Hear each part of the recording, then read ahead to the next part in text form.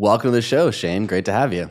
Thanks, AJ. John, I'm glad to be here. Now, when we think about clear thinking, many of us think about the most important decisions in our life marriage, career, where to live. But it's actually the ordinary moments that matter a lot when it comes to clear thinking. And, and why is that, Shane? Well, you can think about this in a couple of ways. One way is when you think about who to marry or where to live or what career to have, you know you're making a decision and it's a big decision. Generally speaking, you tend to be directionally correct. You're rational, you're thinking about it, you're thinking through different permutations and combinations. And, and you know, you don't always get it right, but you pretty much do, right? Things change and maybe things don't work out the way you want, but you get those decisions pretty well right. But it doesn't matter if you choose the best career if you don't show up and work your ass off every day. It doesn't matter if you choose the best partner. You make that one decision, you choose the best partner. This person's perfect for you. But if you don't put in the work and you're not in the trenches with them, you're going to wake up to divorce papers. But we don't think of those little moments that sort of like can multiply these big decisions by zero as decisions. Like if you were to walk into the average house in, in, the United States or Canada, and you see a couple arguing over the dishwasher. Who loads the dishwasher a certain way, right? A common sort of thing that people get into. If I were to tap people on the shoulder in that moment and be like, hey, you're choosing to pour water or gasoline onto this situation right now. What do you want to do? 999 out of a thousand people would be like, oh, I didn't realize that was what was happening. I'm going to choose to put water on this situation because this isn't a big deal. Nobody cares. I don't want to escalate this. And so these little moments, these ordinary moments that we we unconsciously make decisions in, we don't know we're making a decision. And those have the ability to undo all of these big decisions where we think we're making this decision. Oh man, I picked the right partner. I'm set. No, you got to put work into that every day. You can't just coast on that. It's in those moments where life really begins, right? We've worked so hard to get to this point where we get to make this decision about moving forward. Uh, and then we think that's it. Well, that's where this is as you mentioned it if we're choosing that person well the work and building this relationship is going to begin. If we're now choosing a different path in a career uh, this is the path that we've chosen that we have to make right. And so how we show up is going to determine whether or not that was the right decision to make. And totally and, and, we were going through the the defaults which we're about to get to and the one line that stuck out to me was that if we're making these decisions through a, a being pulled emotionally it's almost like we're going through life on hard mode. Now who who wants to choose that right? So let's go ahead and dive into the book a bit and get into what uh, these blind spots or defaults are that sort of cloud and muddy the waters in order for us to think more clearly. So, the way to think about this is we're animals and we share a lot in common with animals. So, we're biologically hardwired to be territorial and self preserving and ritualistic and hierarchical we can't get out of that. We can't eliminate these things. You can't pull out a pencil and like erase them and be like, oh, I'm not going to be self preserving. No, there, there's like a lot of evolution behind this.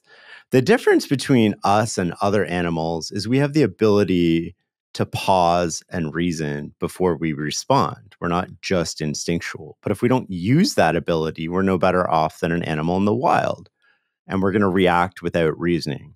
And so there's four sort of like defaults that I organize in the book around your emotional, your ego driven, your sort of social and inertia. And these things tend to create these situations, either in combination or alone, where we're less likely to reason before responding. If you, uh, a common scenario, you're at a meeting, one of your colleagues who's in competition for you for a promotion slightly says something passive aggressive. Well, what do you do? I mean, you, again, water or gasoline, you're making a choice, but you don't know you're making a choice. You're like, what are you doing right now? My ego comes out, my emotion comes out. And what do I do? Well, now I'm going to escalate the situation. And so we we end up in these little situations all the time. And they they primarily surround emotion and ego. When you're angry, do you make good decisions? No. That's why one of the the core tenets of Alcoholics Anonymous is HALT, right? Hungry, ang- angry, lonely, tired. If you are one of these things, you are likely to make a really bad decision. And and I think, you know, we're the same way. But ego, let's let's take territorial. Animals are territorial. So we think of like a wolf running around and peeing on trees and marking its territory or a dog doing the same thing.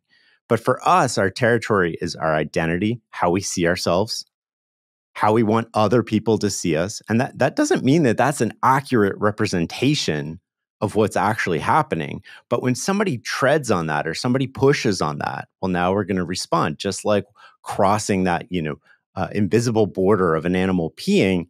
The, the wolf is going to respond. Well, we respond the same way. And what do we do in that moment? We don't make the situation better at all. We often make it much worse.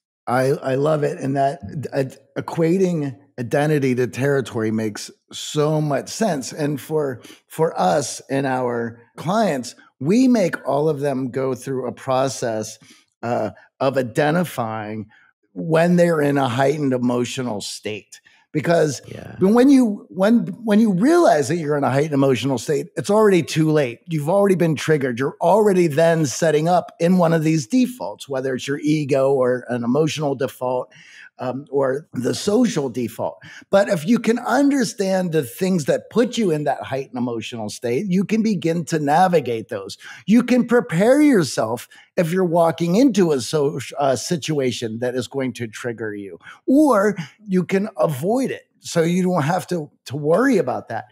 But once they all get that idea of what their body does, how it reacts to the that stimulation, they become aware all of a sudden of, oh, this is where I get myself in trouble. And then, of course, it always comes down to, as you mentioned, one of these identities the ego default, the emotional default, social default, and inertia default. So I think it would be great for us now to go in and, and go through each one of these and define them. So before we do that, I, I want to bring it back just a little bit. One, one of the key ideas in the book is that we think of decisions as being rational in the moment and mm-hmm. making the best choice at the moment of the decision.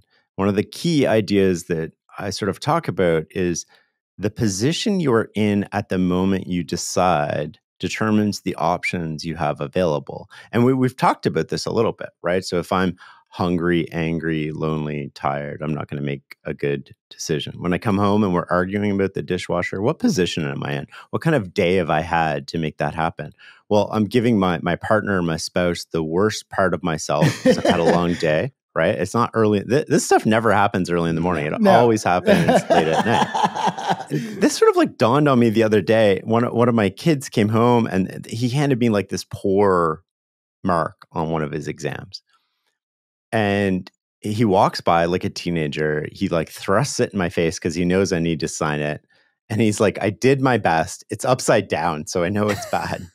I flip it over and I'm like, whoa, right? Like, and he just goes by and I'm like, okay, now is not the time to have this conversation with him because uh, you know, most I played sports as a kid. I don't know if you guys did, but most most of my friends who played sports who quit, they always quit in the car ride home. Right. It was always the parents pressuring, talking about things at the wrong moment. So I was like, I'm going to wait. I waited things, you know, for his emotions to dissipate because mm-hmm. I didn't want to pour gas on this. I wanted water here. And then we talked later on that night. I think it might have been the next morning, but I was like, okay, let's talk about what does it mean to do your best? How, how do you describe this to me? And he's like, well, when I sat down, I read every question carefully. I went through the whole test. I, I did all my stuff. And I'm like, oh, that's really interesting.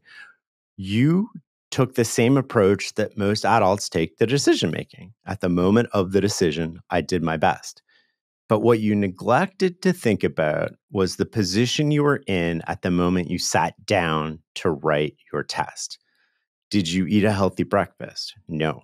Did you sleep the night before? No, I stayed up late. Did you study? No, I stayed up late because I was cramming. So I didn't study in the two or three days before like I should have. And because I woke up late, I was cranky and got into a fight with my brother on the way out the door. Well, did you really put yourself in the best position possible? Did you really do your best? All of those things are within your control and they all determine what happens in that moment. So if you do all of those things, and, and, I'll bring this back to the defaults, right? So if you're angry at the moment that you're making a decision, you're not going to make the best decision possible. Well, there's ways to avoid being angry in the first place. And, and, we know what a lot of those things are. So, emotion, ego, social, inertia. Inertia is sort of like your habits, they just continue. Whatever you've done, if it's working reasonably well, because changing your habits would admit that you're not getting the results you want. You don't want to admit that to yourself. That's a hard ego hit. Mm-hmm. Social, mm-hmm. I follow best practices. I can't get fired. Well, of course, but if you do what everybody else is doing, you're going to get by definition, you are going to get the same results that everybody else is getting. You have to create advantageous divergence or positive deviance. You, you have to go against the crowd at certain moments and be willing to look like an idiot. And it's that fear, again, comes back to ego, right? A lot of this comes back to ego. We don't want to look like an idiot. What if I'm wrong? What if I do something different and I get in trouble? And a lot of organizations don't encourage this sort of experimentation with people because if you do something different and you get worse results, well, you're the fool for doing something different. But if we look at evolution again, which we've talked about a little bit, I mean, it all works through deviation. Right. That, that, that is literally how we've all got here. And, and, and so it's fascinating to me that these things are so powerful. And we're triggered by the same things emotionally. When our ego gets triggered, or our anger, or sort of fear, we don't make our best decisions in these moments. We have to get out of that state of being and into a better state. But it's not just recognizing, oh, I'm angry in this moment. What are the things, the practical steps that I can take? It's about how do I avoid being angry in the first place? How do I put myself in a position to deal with what's going to happen? And if possible, how do you lengthen the time between the decision being made and being in that state. Because many of us in these moments don't even realize we're making a decision, it's unconscious to us. So there is no gap. It's just happening. The anger outburst, the ego is yeah. wounded, the social pressure is handing you the drink or telling you to do this thing because everyone else is doing it. And at that point, you're not even prepared to create the space to make the better decision. Totally. So in the book, we talk about things like safeguards, where it's like, how do I prevent this from happening in the first place? And if I can't prevent it, how do I deal with it when it happens? And one of the things that we talk about that has been life changing to a lot of people who've read an early copy of the book is automatic rules for success, which is basically mm-hmm. having the best version of yourself pre decide what you will do in certain situations. But it has to be a rule. So we've been taught our entire life you need to follow the rules. I used to get polygraphed on this stuff. Like this is like you have to follow the rules. You can't break the rules. Speed limit 60, you got to go 60. You show up on time, you do all the things that you're told to do. And so all these rules were programmed to follow, but we've never thought about how do I switch this around and use those rules to my advantage? How do I create an environment an artificial environment where my own rules are helping me. So you talked about drinks and social pressure. This is one that a lot of people feel, or desserts, another one, right? Yeah. You're trying to eat healthy. And, and, so common scenarios are like, I'm going out to dinner with some friends. I don't want to have dessert. But now, every time this happens, I have to make a choice. And that choice, I'm relying on willpower. And eventually, everybody loses the battle with willpower. And that choice is, I'm not going to have dessert because I've thought of it as a choice. But what if we create a rule? And our rule is, I just don't eat dessert. That's my rule.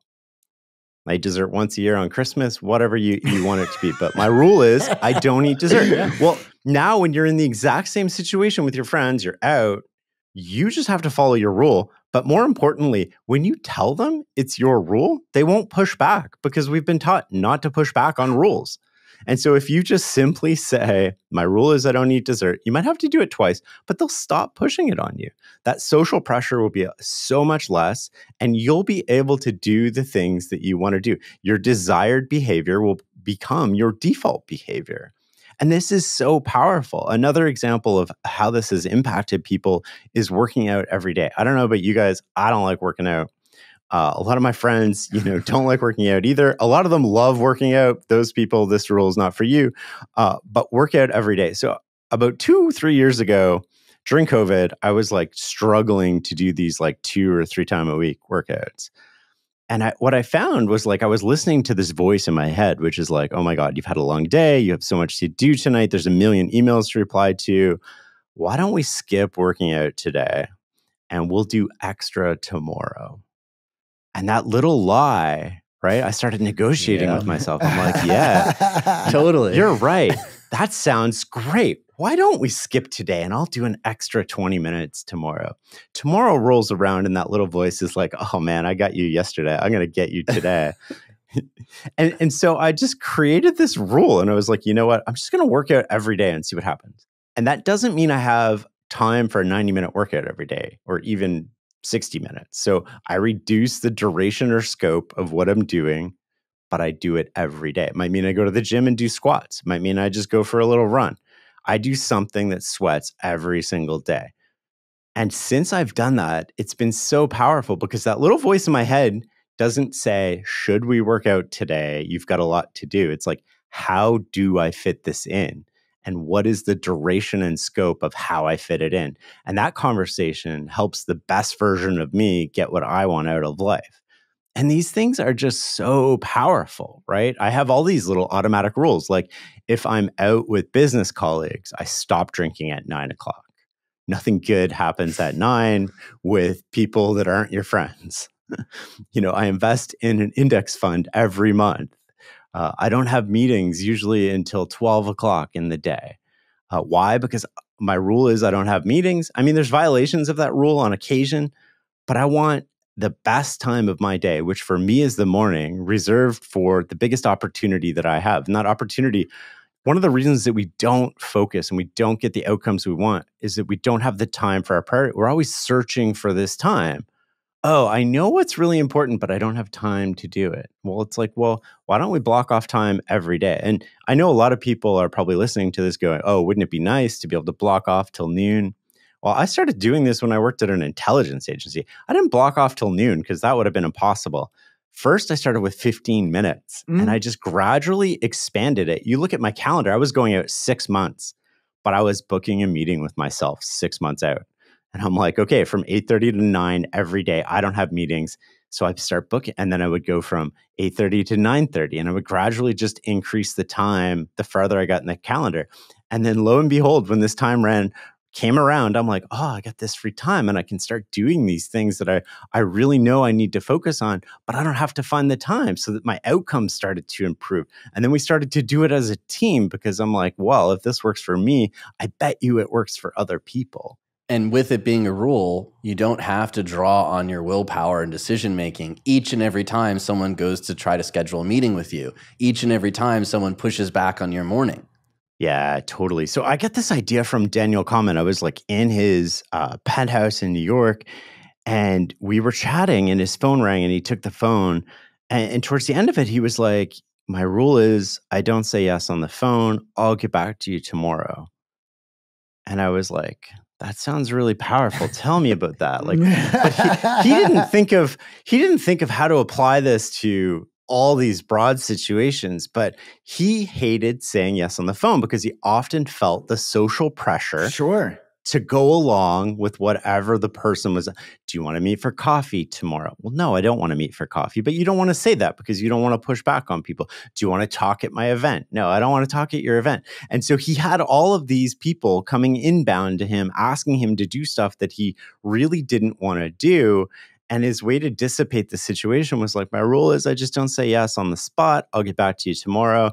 And he's like, it's so funny because I went from saying yes uh, about 90% of the time to saying yes about 10% of the time by inserting what did we do? We inserted this pause, the, the space between stimulus and response. So we took something that we know exists, stimulus response, and we've inserted through an artificial environment, through a safeguard, we've inserted a way to pause. And we can do this at work too. There's so many other practical examples of this. Like if you think of one of the common scenarios at work is like, let's get together in a room and we're going to solve this problem. Well, first we got to figure out what the problem is. You go into this room, you get 15 or 12 or even eight type A people. Somebody throws out a problem and they're like, here's the problem. And then everybody's like, oh, that sounds reasonably correct. And then what does everybody do? You jump into solution space. Right. How do we solve this problem? But nobody's actually paused and thought, like, is this really the problem? And this is why we often solve the wrong problem. So, how do you create a safeguard around this? Well, I was talking to Randall Stutman years ago, and he's like, you can have a firewall between these two things. And the firewall is we'll have two separate meetings. And they can, you know, you would regularly book this meeting for an hour, and now you can do it twice for 30 minutes. And that firewall gives you the pause, often overnight, to think and reason rather than just react and respond. And what else happens? People give you better information because there's a lot of people who don't think that quickly on their feet or don't right. want to speak up at a meeting or don't want to say anything that goes against what everybody else is saying because they're worried about that social pressure. They have fear around it again, right? And, and so you end up with better information. And then by letting it sit overnight, you're also allowing a bit of rationality to creep in into your body because it's like you wake up the next day and you're like, oh, you know, I don't think that really was the problem. But last night at five o'clock, when I was trying to get home and I was trying to get the kids, I was, I was trying to put, you know, I was yeah. thinking all the groceries and the list of things I had to do. That sounded like the problem. But you know, this morning at eight o'clock, through fresh eyes, no, I don't. You know, it's it's kind of the problem, but it's not really the problem. If you do not isolate those points, you begin building a, a narrative in your mind of what the problem actually is. And, and then you're coming up with a solution for a problem that's not, that a lot of times isn't the problem. Uh, by being more uh, isolated in your thinking and, and more focused of, of what this meeting is going to be about, then everyone can contribute, but your cognitive processes are now are narrowed and they're focused on certain aspects that everyone can and hopefully through that meeting get more of a 360 high resolution view of what that problem is so that you can then have another meeting of okay now that we've talked about what it is let's go over solutions. And and having an opportunity to discuss multiple different solutions to that problem keeps us from building out that that narrative because the way we think is a narrative form. And so by putting in solutions, we start we immediately go to well what that problem is going to be if if if this is going to be the solution. It's not proper thinking, it's narrative. You know, it's not clear thinking, right? and, and so the idea is to sort of allow space, create natural pauses that don't impact the outcome. I mean, I worked in operations, right? Speed matters. Uh, yeah. Uh, but just just breaking up those two meetings and waiting a night, which you can do 99.9% of the time, of uh, allows you to get clarity, get to a better decision, get to a better outcome. Doesn't mean you're going to be perfect every time. Like, I, I don't want the illusion that we're going to be perfect, but it does mean we're going to be better than what we would have been otherwise. And there, there's sort of like a lot of these safeguards that we can put in place that just allow us to be clearer thinkers. And instead of, you know, recognizing when you're angry, which we also talk about in the book and like what to do, it's more like let's put a lot of effort into how do we avoid that situation to begin with? How do we structure an environment to be conducive so that that happens less frequently? So now that I'm exercising willpower a lot less frequently, I need to recognize it a lot less frequently. And when it does happen, what do I do about it? Well, automatic rules for success take care of that because I just need to follow my rule. And so it doesn't matter that I'm angry. I'm still in my head, the default, I'm hardwired to follow rules. So even though I'm angry, I'm going to be like, oh, my rule is this. You know, I don't talk bad about people. Maybe that's my rule. I don't talk for other people. That's a great rule to have at the office, right? I don't ever speak for other people and I think it's just so important to think through the the problems from a very different lens. Like everything I read on decision making and clear thinking is like fill out these spreadsheets and like mm-hmm. do these decisions. And and it's because professor and, and, you know I love professors. So so please, if anybody's listening and you're a professor, don't take this the wrong way. But you overcomplicate things, and like people in the real world don't don't really do that stuff, right? And you yeah. need to make it complicated because you need a whole class that's like 13 weeks and, and funding 50 hours. and tenure. Yeah. Yeah. yeah, and you want funding and you want tenure, and the more complicated it is, you're the only one who understands it. You're the expert. There's a lot of recognition here, but so I took a different approach, which is like, how do people think clearly in the real world? Why is it that some people are, are consistently better at getting better outcomes than other people? And is there a pattern that I can ascertain to those people?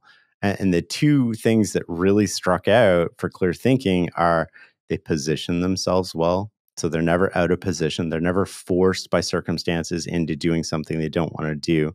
They manage their defaults. They do it through rituals and safeguards and then they think independently. But you can't really think independently if you're not in the right position. Right. And you can't think independently if the situation's thinking for you or your defaults are thinking for you. So let's talk about rituals because this is something that's definitely changed my life. And I know for many of our coaching clients, their day starts with notifications and things to do for other people and inboxes. And they don't have rituals. But when we look at top performers, so if you're watching the US Open, there's breathing going on before that second serve after they faulted on the first one. Why? They're emotional. The points on the line, like they need to get this in. So we can build rituals. They don't have to be day long events, hour long events, but they are a space for that pause that we're talking about. Unfortunately, as you were saying, with a lot of professors, we have a default preference for action. We want to move. We want to move fast. We want action. When in actuality, that action can work against us. And creating rituals in your life can create the space and the pause necessary to start thinking clearly. I just want to add to that really quickly as well. I've also seen that for a lot of our clients, they're living life and being reactive to what's going on around them. And that being reactive then sets them up being to be triggered. And then they start recognizing these patterns which is why they come to us is like i'm seeing this pattern. It's now affecting my life. I need to break it. So for us it's to move them to a position where they can be proactive in their day and how they're going to be handling that. And when you meet somebody who operates in that manner you can see the rules that they have set up in their life so that they can be proactive rather than uh, reactive. So uh, to answer aj's question then uh, go ahead uh, Shane and, and clarify that. For. Yeah, so many thoughts on this, right? We're programmed to think in terms of speed, but not velocity. And the difference between the two is velocity has a vector. So, velocity is speed towards a destination, whereas I can run around in a circle and I'm going fast, but I'm really not going anywhere. And, and so, once you start thinking in terms of speed towards target, towards destination, towards outcome, it changes things a little bit, right? What outcome am I running towards? Is this outcome worth wanting? That's a different question. And you can use rituals as a way that the best version of yourself, another form of safeguard, right? You can use the rituals, uh, the best version of yourself once you follow them, and it becomes ingrained. I did this with my kids. They they were sort of homeschooled during COVID to the extent that that was even possible. And, and then they went, they switched schools after that and they started getting homework again. So they hadn't had homework for a while. And I don't know about everybody else's kids, but my kids hate hated the idea of coming home after school and doing homework, right? So it was a battle. And we would do it at a different time every day, right? And, and during this time, right, they paid attention all day in class. They're young. That's hard on them. It's really a struggle. And they have 90 minutes of homework. So they don't go to a school where it's like, here, you know, read this little 10 sentence book and like that's your homework. It's like, no, they got legit studying homework, tests, exams. And so they come home and it was this just big power struggle. And I was like, why don't we just create a ritual around this? You come home, you get a, a, space. It's about 40 minutes for them to to come home on the bus. They get a space. They can decompress. They can do their thing. They come home. They shower, and then they come down to the table, and they start doing their homework. Dining room table. And it took about a month to install this ritual. And every day I would have to like I wouldn't say force them, but remind them of what they they wanted to do. And the way that we came up with this is super powerful for adults too. It was like, what would the best version of yourself do?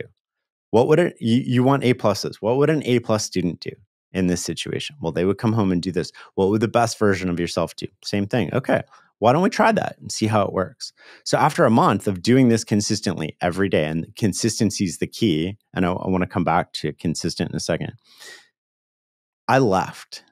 So I'm always home for the kids after school, but I wanted to see what would happen if for a few days nobody was there. Yeah. So they came home, they showered, they went downstairs and they did their homework. The ritual had taken over where willpower failed. They didn't need discipline, they didn't need willpower. They just followed the ritual We're biological creatures. This is what we do. We follow the ritual, we follow the culture of the organization, we follow the instinct. The problem is, most of us are inconsistent. And consistency is the key to so much in life. It, it's like we're Sisyphus, right? We roll the boulder halfway up the hill and we're like, you know, this is a lot of work. I'm going to come back to this next week. And well, we leave, and what happens to the boulder? It falls down. You think about like learning a language, Duolingo. I've had hundreds of people I know sign up for Duolingo, and man, they're advocates for like two weeks. And then all of a sudden they skip a day. And Then all of a sudden they skip another day. And then all of a sudden they're no further ahead than they were. What happened? Consistency matters you need to be consistent. You need to do just a little bit every day towards your goals. So, so the way to identify the rituals that that are super important to you, or the ones that are getting in the way. And, and I had this thing, and I I didn't come up with this. I forget who came up with it. I don't want anybody to think it's me. I don't actually come up with most of these ideas. I get them from other people. Uh, but it's imagine a film crew following you around all day, and they're not documenting your life they're documenting the life you want to have, the success you want to have. What would they see? What would you not want them to see? And then you start acting like the person who gets that success would act. You know, the person uh, that achieves success, maybe they don't wake up in the morning and check their phone and let other people usurp their day. Maybe they're more conscious about how they spend their time maybe they avoid all these things that i'm wasting my time on. And, and the biggest thing that we sort of miss is like we often focus on things outside of our control or again going back to the the gas or water on a situation when we pour gas on a situation we have to repair that relationship. And all the time that we spend focusing on things we don't control uh, fixing relationships because we reacted without reasoning all that time comes at the expense of velocity which is direction and speed and it doesn't matter how fast you're going, but if you go inch by inch, even centimeter by centimeter, but you can pound that result day after day, week after week, month after month, you're going to reach your destination. And we don't often realize how we signal to other people and then they reflexively signal back to us. And in a lot of these negative rituals, we don't recognize that we're not only impacting our decisions, but we're impacting our team members' decisions. We're impacting our spouse's decisions. We're impacting our children's decisions. So, yeah. one of my coaching clients was saying to me, I'd love to spend more time with my family. So I was like, well, let's walk through your day. What, what's going on? You know, he has two companies, he's busy. And then I'm like, well, what do you do after dinner? That's a great time to spend with your family. And he's like, well, actually, what happens is, you know, I got to catch up on work for my side business. So I go back in the office and I'm answering some emails. And then, you know, every once in a while, I'll watch some YouTube videos and I'll get sucked in. And then, what do you know? The kids are already in bed and my wife is exhausted. I'm like, okay, well, that seems like prime family time. So let's go through the last four days of emails that you sent between six and six in the morning. And he went through the emails, and I was like, well, was that something that could be handled at 9 p.m. from your team member? Was that something that really needed a response? Was that person going to reply to that email at 10 o'clock at night? No. Okay, so we have a negative ritual here. We're ritualistically answering emails at a time that a better ritual for you would be spending that with your family and creating more time in the morning to just bang out those emails well, that also gets you out of your office, which you've admitted has a screen, and all of a sudden you're watching stuff you didn't mean to watch, and you're surfing things you didn't mean to surf. So we don't recognize that he's also stressing his team because now they're getting yeah. emails at nine o'clock at night and they're like, ah, oh, I want to be with my family. Like, what do I do? I got to respond to this. And then they're conditioning him that everything needs a response. So they're going to rapidly respond back to him. And it's a vicious cycle that's not only impacting your decision making and you're not thinking clearly, but now your team members aren't thinking clearly. And you want to talk about affecting velocity? Well, if no one in the group is thinking clearly, we're moving fast, we got a lot of speed, but we're not going in the right direction. Totally. And as you're saying that, you know, it also ties to the ego default. One of the reasons that we do this is almost signaling to other people unconsciously. I don't think anybody consciously does it, but unconsciously, we're important. We're important at work. Uh, you know, what are we taught as people? We're taught that, you know, you need to contribute to your family. You need to do that. That's important. I'm contributing to the family when I do this. But this is the lie that we're telling ourselves. Like going for a walk with, with your partner and your kids every night, a ritual after dinner, even if it's like 15 or 20 minutes I find I get the best information from the kids when we go for walks. There's no eye contact, there's nothing else to do, there's no screens anywhere. The, the kids just, it's phenomenal the, the amount of stuff that they'll tell you in those moments. But we're, we're fed, oh, I got to check my phone. Why am I checking my phone? Well, I'm important. I'm so important that I have to check my phone. There's signaling involved in it. And I don't think it's conscious. I think it's sort of uh, unconscious. And, and this goes to another idea we talk about in the book, which is sort of like making the invisible visible. So we have all this stuff going on under the hood, and how do we surface that? And how do we live more consciously? How do we get to the life that we want? We sort of talked about that a little bit in terms of uh, getting, you know, making sure that we're going towards the destination we want and living life in a way that creates that environment, that system that we want to get towards. Yeah, and and certainly uh, having these these rules set up also allows you to create that velocity moving in the right direction. So you have focus on those goals. There are rules set up in order to be successful to reach those goals. And the usual things that become distractions that take us off of our focus, uh, they don't have that opportunity to affect us. There, we now get to those when we everything else is in place, uh, and and we're able to deal with those in a way that doesn't take away from well-being and satisfaction in life, where normally those things will. I mean we the the culture that we're in is that in order to have a, a very stress free life, you need to be laid back. Well, laid back puts you in a position to be reactive to everything which which it has the, the, the opposite effect you're now a slave to everyone else's issues uh, all the distractions that are around us with technology it makes it difficult to get any traction and momentum towards our goals that needs to be and, and this is why having an understanding of what is the best version of yourself and how does that best version work towards its goals and, and what are the processes that we need to put in place in order to stay focused and handle everything else. Because once those rules are set up, that's where your stress free life is. You can be relaxed. You can go through your rituals. You can wake up excited every day for the rituals that you've created that you enjoy engaging in because they, they get you to where you want to be going. Yeah, I think one of the questions that people need to ask themselves annually, if not even more frequently, is like, is where I'm going where I actually want to go, or where society has told me to go? Right? Often, if you go to any retirement home or you you pick up, uh, I think it was Karl Pillemer who did this book, like Lessons for the Living, uh, from people near the end of their life, and and the number one consistent thing in there was if I could go back I would spend more time on these things that society tells me is not the most important thing. And one of the the stories in the book is sort of who do we know that got money, power, and success? and achieved all of those things. And then at the end of his life, he wanted a do over. Ebenezer Scrooge. Scrooge. This story's been around for a long time. Why did he want money, power, and success? Society told him those things were important and he got all of those things. But the way that he achieved those things was mutually exclusive from living a life of meaning. So at the end of his life, he just wanted to go back and do it all over again. And I feel like conscious living and being proactive is not just proactive about moving toward the destination, it's proactive about am I going toward the right destination? And I want to do that consciously because where you think you want to go when you're 20 is a lot different than where you want to go when you're 50.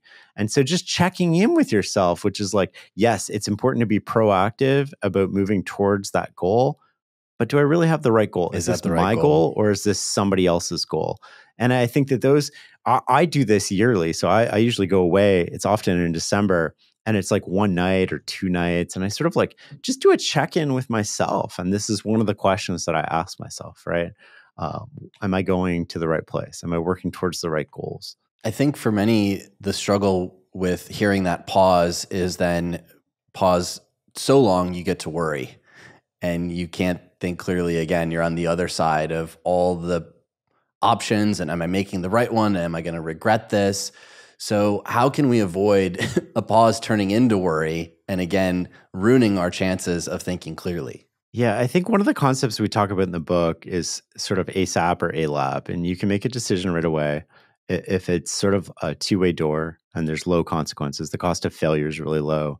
You could just make that decision on the spot. You go to the grocery store, they don't have your toothpaste. I mean, you don't have to ruminate over this very long. You just pick up a new brand. If it doesn't work, you know, it's like two bucks or uh, like it's like 10 bucks now. It yeah. used to be like two bucks a couple years ago. Uh, and, you know, the cost of undoing that decision is really low. Uh, something like a TV, and I, I noticed this with friends, they would spend weeks ruminating over a TV if you ascribed minimum wage to their time, they actually like paid for the TV in research. Double, triple, and, right? And, and, and, so I came up with the, the concept like ASAP, ALAP, and, and, how do you know it's as late as possible? Well, you know, I came up with the the idea of flop, first lost opportunity, right? Stop, flop, or no. So you stop gathering useful information, first lost opportunity, or you know what to do. Those three situations that's when you make a decision. So, but you don't ruminate in the meantime. You just let things percolate. So you don't obsess. And what happens is we start obsessing over these decisions. And, and so why is it that we, we end up doing this?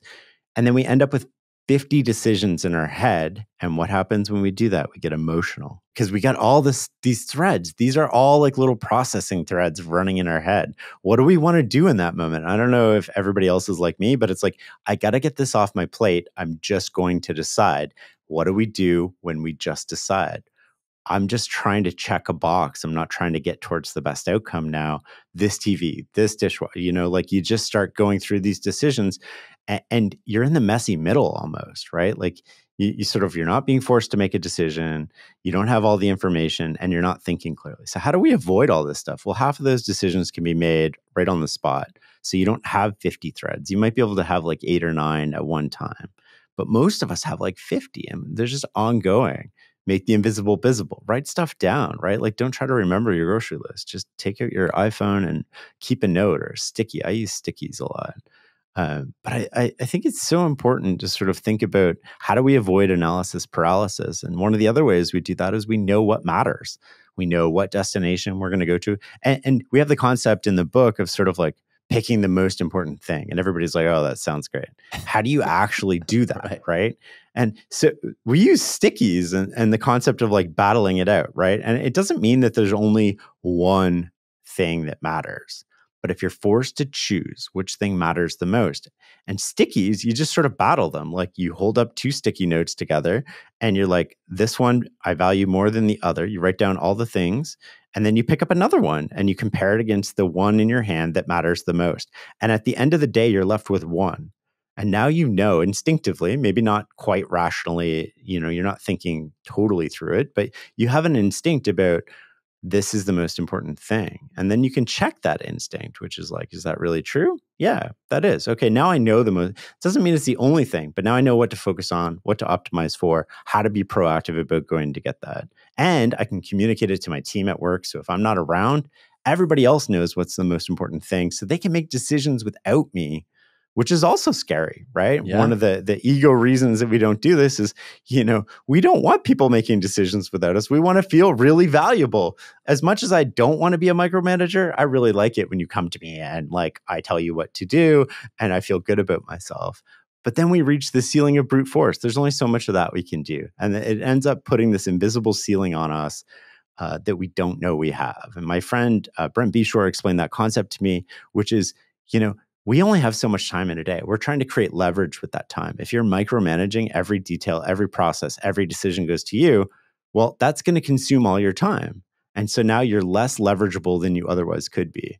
And I want to leverage things. I mean, I value time a lot. I want to outsource things that I don't have to do. I want people who are better at that thing to, to do, do it. it than me. Yeah, people who people specialize in like all the stuff that you're doing, either in life or at work. You want them to do it. They're going to get better outcomes. And, and you sort of have to learn to sort of step back and let go and let other people take the spotlight. And that's really hard to do, but it's so powerful. I think we often feel action is enough and it feels good to take action. So, one of the classic examples is some of our clients are dating and they'll go on tons of dates, just constantly going on dates. And they're like, I can't find the one. And I'm like, okay, well, explain to me what the one looks like. Uh, tall, attractive, enjoys fun. Okay, well, that's half the globe. So you're just going to keep doing this action for the next 20 years. Like, that's not at all a clear goal for you, but oh, I'm going on dates. I'm I'm doing the right things that society says and it feels good to take this action, but it just takes you further from the actual goal that you have. I've been that guy going on a lot of dates, right? Because you want to meet people and you think you're going to have this instant spark. And sometimes it actually works out that way. And a lot of times, you know, you build this. And it, we live in a world where you go home and you're like, swipe right as soon as you get back. It's like, oh, that was a good date. 10 years ago, we would be having a second, second date, date tomorrow. Oh, yeah. uh, you know, but now I'm like, well, who else liked me while I was out on this date? Oh, well, stimulus response of getting this feedback. And then your friends are always asking you, well, did you go on any dates lately? Right. Yeah. So there's this social pressure to be like, oh, I went on a few, and then you tell your stories. And then they feel better about being married because you, you know, you tell the story about the time a husband showed up on your date or all this crazy stuff happened. And they're like, oh, feels yeah, that sucks. And everybody gets a good laugh out of it. And then you go on your other hundred first dates and you're just hoping for the one. And yeah, there might be one person out there, but you're gonna have to go on like a million dates to get to that person or luck out and just totally by chance. The flip side of that is like if you're a little more conscious about it at the start, you, you can massively cut down that filter all of that time can be invested into a second date with somebody where you're like, yeah, that could go somewhere. And you're not really losing time and you're increasing your velocity because it's like often people are nervous on the first date. Absolutely. Often people aren't really themselves. They're they're no. positioning, right? They're posturing. They've got a mask on. They want to be on their best behavior. And so if you really want to get to know somebody and you think that, oh, that was pretty good, like I could have a conversation with this person again, instead of going back on your dating app and being like, oh, here's the six other dates I can line up tonight. You sort of like, oh, why don't we do this again? Why don't we do that tomorrow? And then you can start building something. It's also been a lot of the Hollywood movie magic where people are waiting for this serendipitous moment where there's these significant events that uh, encapsulate and consume them emotionally. They're like, this has to be it. And the reality is, if that's going on, this is probably the last place that you should be because you're not thinking clearly. yeah. And not just Hollywood. You know, you ask your friends how they found each other, and oftentimes they will fantasize a little bit. Your That's, memory shifts towards, well, it was a special moment because this is my person, this is my partner, this is my spouse. You don't just say, oh, they were the fourth swipe that night, and I just ended up hanging out with them the next day. Can you imagine? It's like, oh, my real date didn't show up, and so I booked another one, and like this is how we you. ended up meeting. Here we are. But it's it back to that Hollywood thing. It's like we're expecting to show up on these dates, and there's like this light from the heavens shining on this person, and the world suddenly pauses, and we're like, oh my god, I just met my soulmate, and uh, that happens. I totally believe in in love at first sight and meeting your soulmate. I just don't think it's the most common scenario. it's not the best goal for everyone to shoot for by any means. Yeah. Well, then you show up and you're disappointed. If that's what you're expecting, right.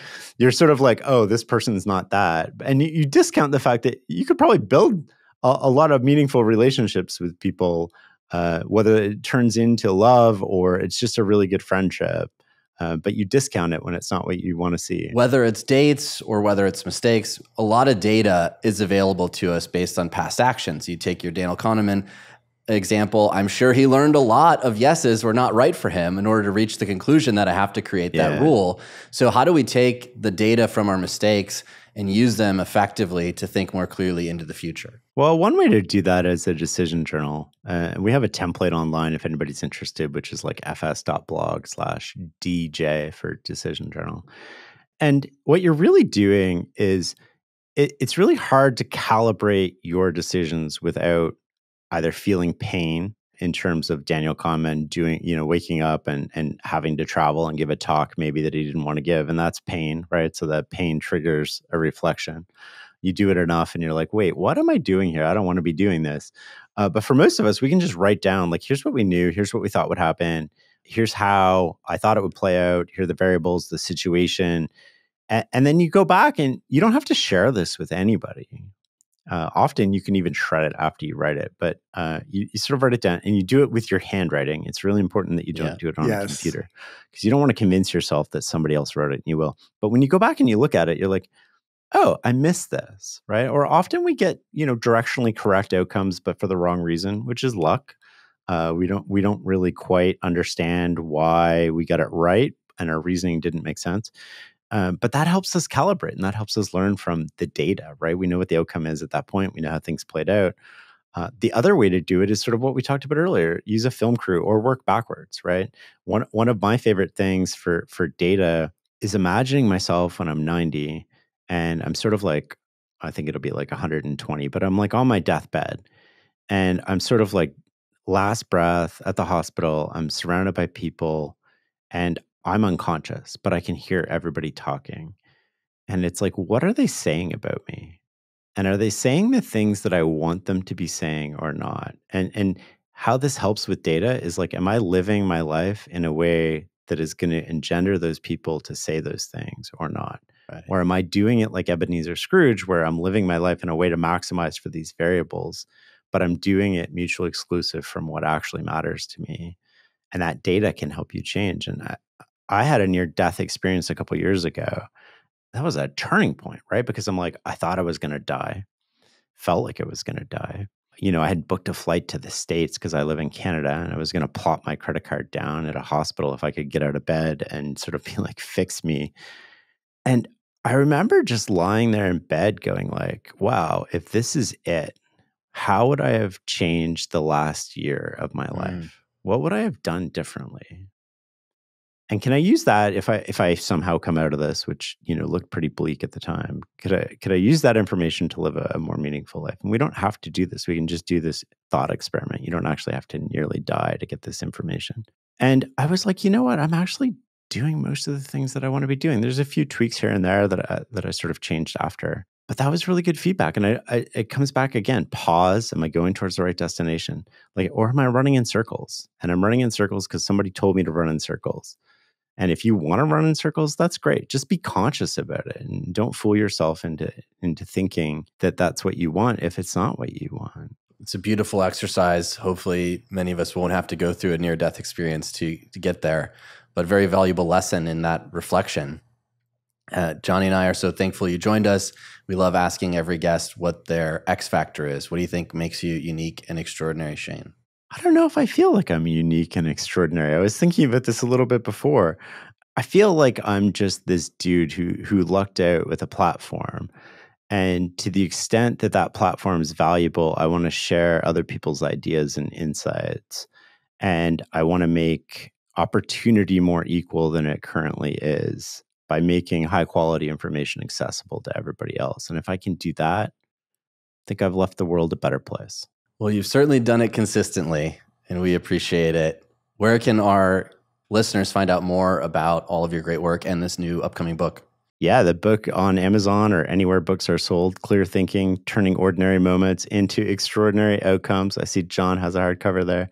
Uh, you can find me online at fs.blog. Email me your favorite section of the book at shane at fs.blog. I don't respond to every email, but I definitely read every email. Um, the last person, the last email I got was page 113 changed my life. So I want to know what page yeah. impacts you and what page makes a difference for you. Well, it's a great book. It's very easy to make your way through with all these great concepts. And I'm excited to see the emails that our listeners send your way, Shane. Oh, thank you. Thanks, AJ. Thanks, John.